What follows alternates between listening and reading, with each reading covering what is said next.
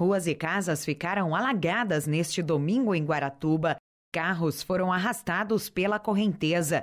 A chuva intensa atinge a cidade desde a sexta-feira. Segundo a Defesa Civil, há risco de deslizamentos em todas as regiões próximas de morros. Já são pelo menos 150 pessoas desabrigadas, segundo a Defesa Civil. Um vídeo divulgado nas redes sociais mostra o momento em que populares resgatavam uma família. Eles foram de barco até a porta da casa. resgate de uma família agora aqui, pessoal. Olha aí como é que tá a situação da, da, da casa, do Você carro. tá lá daí pra ela embarcar, né? Embarcar na- Pela janela ali não tem como, né? Uma casa. Vamos resgatar a família agora aqui. Ó, por dentro. Lamentável.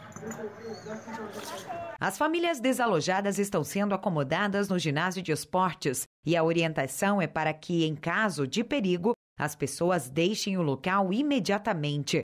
Segundo o CIMEPAR, nos últimos três dias, choveu mais de 57% do que era esperado para todo mês.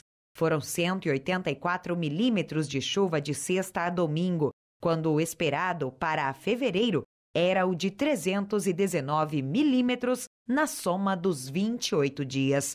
Por conta dos alagamentos, alunos não terão aulas no Colégio 29 nesta segunda-feira.